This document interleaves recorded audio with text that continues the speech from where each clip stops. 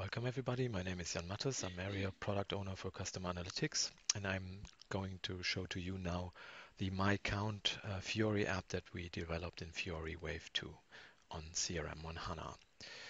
Um, so let's start. Uh, the My Account app uh, shall enable the sales representative to get a, an, an overview on all activities and information he has for his accounts. What you see here in, in the first screen is basically a list of um, of accounts which are assigned to the employee. Uh, I can scroll down uh, a bit. I could also be filtering for all accounts. Uh, currently the list is filtered only to show my accounts. And you see here um, in the list of accounts, we have certain key figures and facts uh, in the overview already. It's the value of the opportunities, it's the revenue to date, the sales orders, and also um, you would be seeing appointments which have been created. Let's drill a bit deeper and open the account REMA. Um, uh, the account 360 degree view that we have here basically shows a logo, um, the name of the customer. Uh, it has also analytical information. So on the right hand corner, you see the um, revenue to date and also the revenue of the last year. So um, this is directly taking out of the HANA virtual data models coming from SAP HANA Live. You see basic information, general information, contact uh, information. You can click on um, such a tile here and then drill into the details of the contact. In this case, this is Emma Watson, who is the chief purchaser.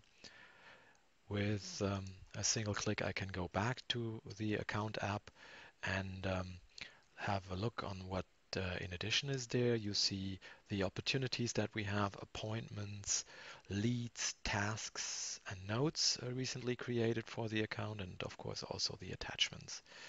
If I um, click for, let's say, a task, then I get the tasks that have been created for that account uh, in the task app, which is a separate application.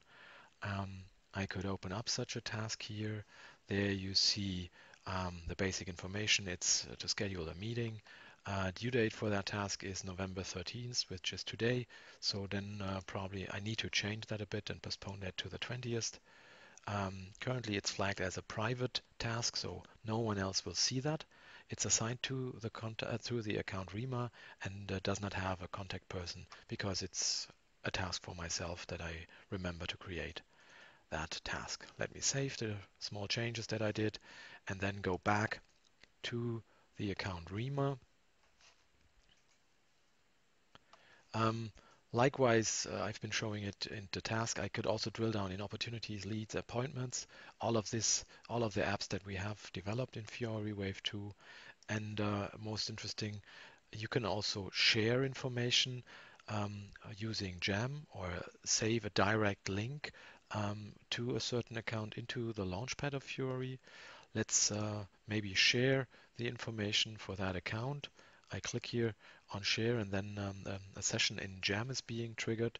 I uh, need to select as a first step, of course, the Jam group to which uh, the link will be posted. Um, there is a Jam group called Critical Opportunities. I could also um, have, let's say, a separate group only uh, working for that account. Um, I can add some text um, and then finally save that and uh, that will be then persisted in the jam group and uh, all users assigned to that jam group can be then directly linking into the um, account app. So this was basically it. Thank you for your time and hope to see you soon. Bye bye.